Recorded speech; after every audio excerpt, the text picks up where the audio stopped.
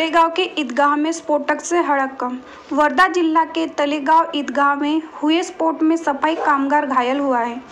सूत्रों के हवाले से जानकारी के अनुसार सत्तावीस स्फोटक वस्तु ईदगाह में मिली है, जो कि ये स्फोटक वस्तु किसी हेतु से रखी थी। यह बड़ा सवाल आम जनता की सुरक्षा पर उठ रहा है। यह स्फोटक वस्तु रखना यानी कि जान मान को धोखा पहुंचाना है। यह बड़ी सोची समझी साजिश तो नहीं, इस पर हमारे संवाददाता अब्दुल शेख का रिपोर्ट। नमस्कार, सत नागपुर से मैं अब्दुल शेख। अभी हम नागपुर से 100 किलोमीटर दूर तलेगांव में खड़े हैं, जहाँ पर आप देख सकते हैं कि ये ईदगाह है और तलेगांव का ये ईदगाह भी है और सामने इस बाजू में लग के ठीक यहाँ कब्रस्तान भी है।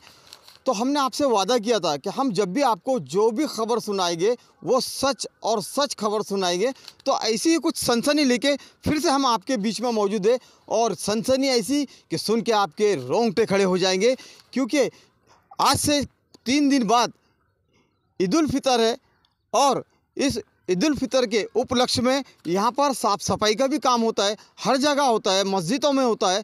लेकिन ठीक ईद के तीन से चार दिन पहले इसी ईदगाह जगह पर।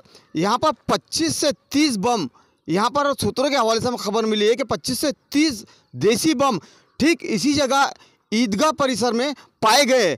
और सूत्रों के हवाले से ये भी हमें बताया गया, मालूम हुआ है कि यहाँ पर एक थैली पड़ी हुई थी, जिसको कुत्तों ने आके वो थैली को नोचे और बम इधर बिखरे पड़े थे, जिसमें से यहाँ पर कुछ सफ़ाई कर्मी आए थे यहाँ पर और उस सफ़ाई कर्मी ने एक बम को छुआ, जैसे ही बम को छुआ, वो बम ब्लास्ट हो गया और उसका हाथ बहुत बुरी तरह घायल हो चुका है, उंगलियाँ भी उसकी पूरी फूट चुकी है। तो ये क्या मामला है, क्या माजरा है? कहीं ये किसी की शरारत तो नहीं कि ईद के दिन यहाँ पर लोग आए, नमाज़ पढ़े और बम यहाँ पर ब्लास्ट हो जाए। तो क्या बात है? आगे की जानकारी हम पुलिस स्टेशन जाते हैं और वहाँ हम जानने की कोशिश करते हैं कि आखिर जाँच में क्या मिला है? क्योंकि एटीएस की टीम भी यहाँ पर मौजूद थी और एटीएस की टीम यहाँ पर बहुत बारीकियों से छानबीन की है। और छानबीन में क्या उन्हें नज़र आया है तो हम आपको आगे भी ले चलते हैं। हमारे साथ बने रहिए क्या नाम है आपका? मुश्ताक खान पठान तलेगांव। हाँ क्या हुआ था यहाँ पे? यहाँ ये ये जो है एरिया जो है ये मुस्लिम कब्रस्तान का एरिया है। यहाँ पे दो लोग यहाँ पे साफ़ सफ़ाई करने के लिए आए थे कब्रस्तान के अंदर में। अच्छा। और उस साफ़ सफ़ाई करते करते नवीन निकम नाम का एक लड़का था उसके हाथ में एक बम फुट गया। और उसके बाद में सत्ताईस जो बम है यहाँ पे मिले हैं। नवीन निग- निगम क्या कर रहा था यहाँ पे? ये साफ़ सफ़ाई कर रहा था। कर्मचारी था साफ़ सफ़ाई हाँ, कर्मचारी हाँ, था। कर्मचारी था हाँ। और यहाँ पे साफ़ सफ़ाई कर रहा था। अच्छा, जी। और जैसे फूटा तो वैसे हमारे को मालूमाती मिली है वैसे हमने उसको आरवी रुंगारालय में दाखिल किया है। अच्छा अभी तीन रोज ही रह गए हैं ईद को। हाँ हाँ। उन्नीस अप्रैल है और कुछ ही दिन में ईद होने वाली है और यहाँ पर सत्ताईस बम का मिलना बहुत बड़ी बात है। तो यहाँ हड़कम मच गई होगी कि बम का सुनते से ही पहले तो पूरे ज़िले में हड़कम मच गई इसके वाली। है ना देशी बम थे। हाँ। और फिर फिर क्या हुआ? आपने पुलिस को कॉल किया? पुलिस को हमने फ़ोन किया फिर पुलिस घटनास्थल पर पहुँची। हम्म, यहाँ पे फिर मौके पर उसकी बम की जाँच की उन्होंने। हम्म, आपने क्या देखा भाई? हमने तो यहाँ पे दवाखाने में जब लेके आए उनको दवा खाने में छोड़ के आए रवि निगम को हम्म, उसके बाद में हम लोग कब्रस्तान आए। हम्म, वहाँ आने के बाद में हमारे को यहाँ पे टोटल सत्ताईस बम मिले। अच्छा अच्छा। जब सब क्या करना चाहते हैं? कुछ कहना चाहते हैं? बस यही कि सत्ताईस बम मिले उसके बाद में पुलिस वगैरह आई उन्होंने अपने तरीके से मुआयना किया। और आगे चल के ऐसी घटना न हो इसके लिए भी प्रशासन ने कुछ ना कुछ यहाँ पर करना चाहिए। अभी हम तलेगांव में आप देख सकते हैं कि यहाँ पर जो, यहाँ के तलेगांव के जो थानेदार है, जो पीआई है आशीष गजबिये जी।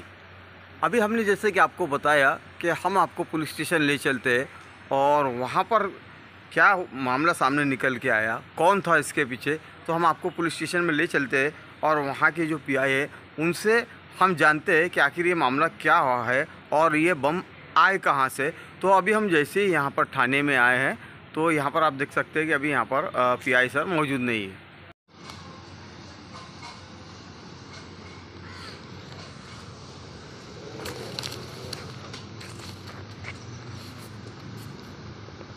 ठीक है? जैसा कि हमने आपको बताया कि जो ईदगाह परिसर के अंदर 27 देशी बम जो बरामद हुए और वहाँ पर पुलिस की टीम भी पूरी मौजूद थी एटीएस की टीम भी मौजूद थी और हम यहाँ पर पुलिस स्टेशन में हमने आपको बताया कि हम चलते हैं पुलिस स्टेशन और वहाँ पर जानते हैं कि आखिर पुलिस को जाँच में क्या मिला है। लेकिन आप देख सकते हैं यहाँ पर कि जो यहाँ की जो पीआई है, आशीष गजबी है सर, वो अभी यहाँ पर मौजूद नहीं है। अभी वो वर्धा में क्राइम की उनकी कुछ मीटिंग चालू है, इसलिए वो मीटिंग में। और जो ए टी की जो टीम है, वो भी यहाँ पर मौजूद नहीं। है वो किसी कारण वहाँ पर जाँच के लिए गुजरात में गए हुए हैं। तो आखिर मामला क्या है? जब यहाँ से नूरुल हसन साहब को फ़ोन लगाया गया तो उनसे ये बात की गई।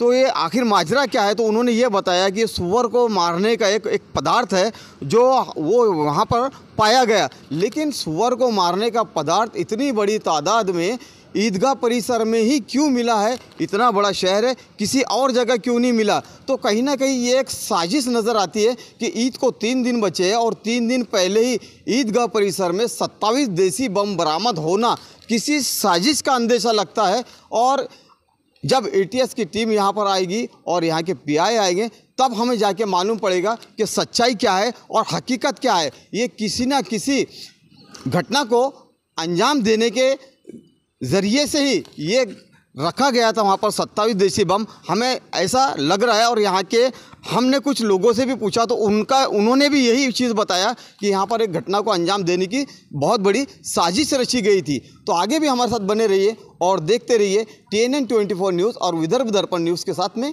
अब्दुल शेख की रिपोर्ट, नागपुर।